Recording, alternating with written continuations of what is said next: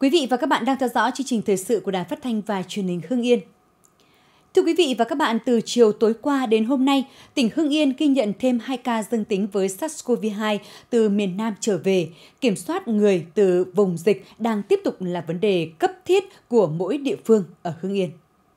Trường hợp thứ nhất có địa chỉ ở Hà Nội là lái xe của một công ty vận tải ở huyện Yên Mỹ, thường xuyên chuyển hàng vào thành phố Hồ Chí Minh. Ngày 1 tháng 11 đến bệnh viện nhiệt đới Hương Yên để test nhanh, kết quả dương tính được cách ly ngay.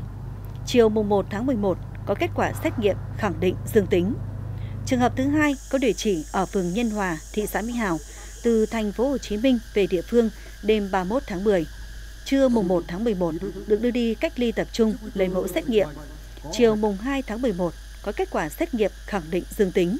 Như vậy, từ ngày 21 tháng 6 đến nay, tỉnh Hưng Yên ghi nhận 282 ca bệnh, hiện còn 19 ca đang điều trị. Những ngày qua, tình hình dịch bệnh tại các tỉnh thành xung quanh Hưng Yên đang có diễn biến phức tạp. Thành phố Hà Nội đã nâng mức độ dịch từ cấp độ 1 lên cấp độ 2. Các tỉnh Bắc Ninh, Hà Nam, Thái Bình tiếp tục ghi nhận nhiều ca mắc mới. Một số tỉnh thành trong cả nước tạm dừng cho học sinh đến trường.